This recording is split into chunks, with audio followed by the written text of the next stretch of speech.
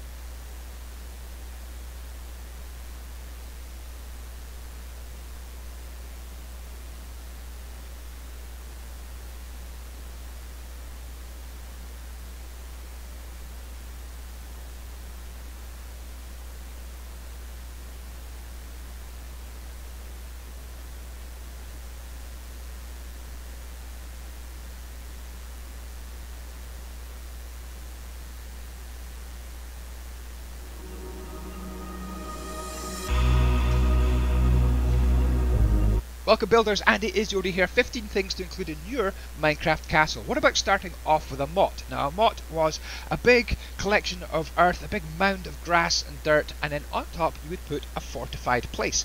And that comes from the Latin castellum, meaning fortified place. These were places for the nobles, the military, or royalty, often built in enemy territory, so they had to be very well protected and very quickly built. Now the Normans were people kicking about about a thousand years ago in Europe and they needed bases where they could patrol the countryside and have a stronghold to protect them from Saxon attack. So they had to be built in a hurry. So a wooden castle like this might be the very first thing that you start to do in your own